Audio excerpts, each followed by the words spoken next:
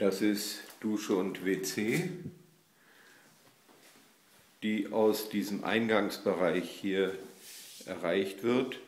Äh, da geht es in das Zimmer, das Sie eventuell mieten wollen. Man kann aber auch hier über die Küche reingehen.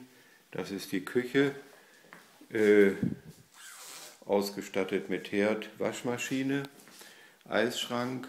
Das ist der Blick aus dem Fenster und Sie erkennen, dass trotz Souterrain man relativ ebenerdig heraussehen kann.